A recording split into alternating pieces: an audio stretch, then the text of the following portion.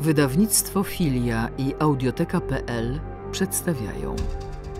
Remigiusz Mróz Lot 202